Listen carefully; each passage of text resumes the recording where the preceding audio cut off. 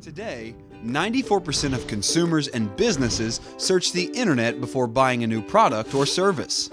They submit their keywords for search and get a list of relevant websites in return. People tend to visit websites that are at the top of these lists because they appear to be more relevant to their search. Most find their competitors at the top of these lists. Studies show that if your website is not at the top of these lists, you'll never reach your customers online. If you've ever wondered why your competitor's rank is better than yours, then know it's because of a marketing technique called SEO.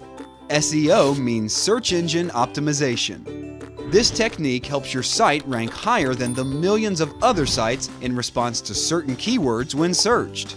The search engine system collects information about every page on the web and can help people find exactly what they're looking for. When your page gets higher rankings, it helps more people to find you. To get higher rankings, your website must have all the ingredients that search engines are looking for. This is where SEO can help.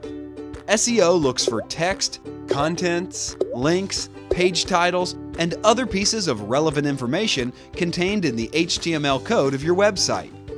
This way, when someone searches for books, the search engine will narrow the results to show pages that contain the words searched for.